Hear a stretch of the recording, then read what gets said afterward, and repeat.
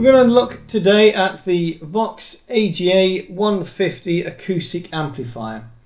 This is part of the Vox AGA range of acoustic amps. They do a 150 watt, which is this one, a 70 watt and a 30 watt.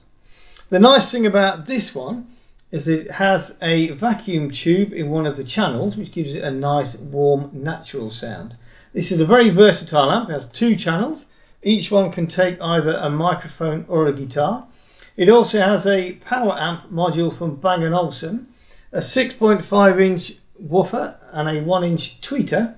And really, if you look at it, it is tiny compared to say a 30 watt electric guitar combo.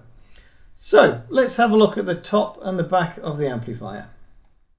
Looking at the top, we can see that it has two channels, normal and tube pre, each of which can take a guitar or a mic, but not both at the same time.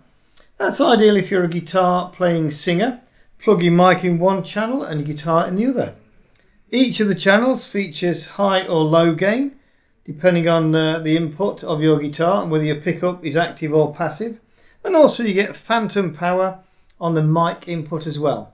Controls include volume, bass, middle, treble, colour and reverb, as well as an anti-feedback which controls both channels a master volume, you get chorus, and also you get an all mute, which is great when you want to plug your guitar in. Just flick the switch on there.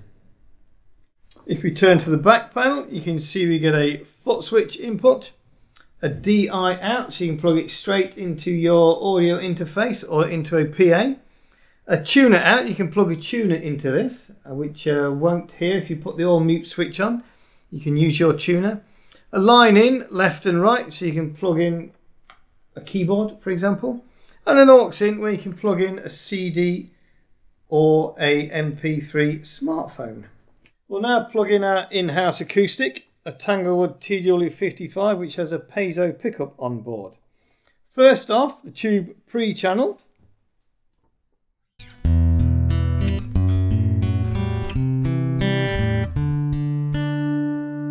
You can hear the lovely bass sound coming through and the clear mids and trebles.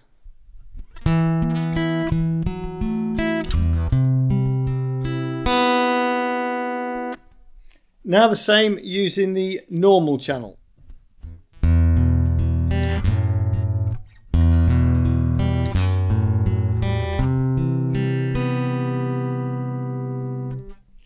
One thing you need to be mindful of though is with this amp, if you whack the strings too hard, or have the input volume too high, the amp will clip your sound. So you need a bit of experimenting with the input and output volume, which will soon sort this out. Do a bit of strumming.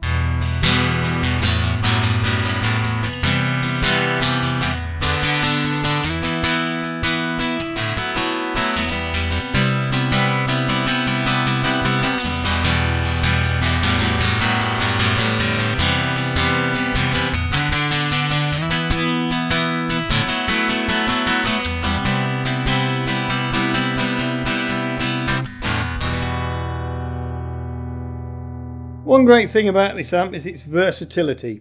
You can plug in an MP3 with a bass and drum beat to play along to, and on stage connect to a PA, outputting your sound and using the amp as a monitor. How cool is that?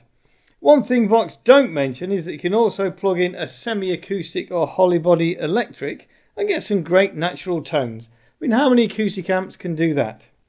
The AGA150 retails around the 400 to 425 pounds mark and the AGA 70, which has very similar features, about £300. Go check one out.